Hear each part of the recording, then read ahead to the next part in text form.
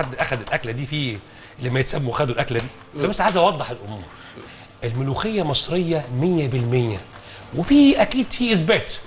وفي برهان. خلينا نكمل دي آخر حاجة اقولها. عشان بس نبقى واضحين. الملوخية مصرية من أيام قدماء المصريين كانوا بيزرعوها على ضفاف النيل. طبعا. فدي حاجة من قبل ما يكون في أصلا مع احترامي طبعا يعني اي حاجة كانش في أصلا بلاد حوالينا غير مصر. الملوخية دي مصرية 100% أي حد بقى أخدها أي حد بقى يعمل اللي أنتوا أي حد يعمل عايز يعمله. بس أكلنا المصري هو واحد فالملوخية مصرية 100% أي حد يقول غير كده والطعمية. في أساس في حاجات كده معينة والفول وحاجات في مشتركة ما بين المطبخ الشامي الشامي المطبخ الشامي بس المطبخ الشامي وبين قوسين والشامي ده يعني عربي.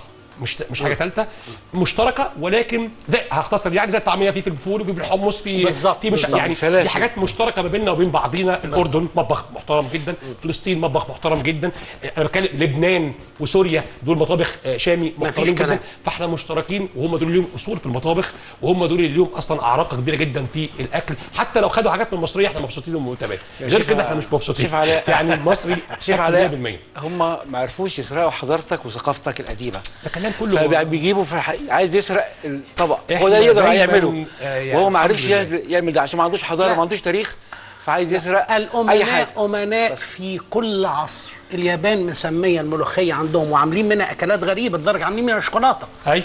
آه مسميينها السبانخ المصرية لأنهم يعلموا إن هي, هي مصرية أصلها 100%. مصر. أقول أقول جملة. اتفضل. اللي يسرق يسرق المهم الأصل. الأصل هو مصر. بس كده. آخر كلمة هنقولها.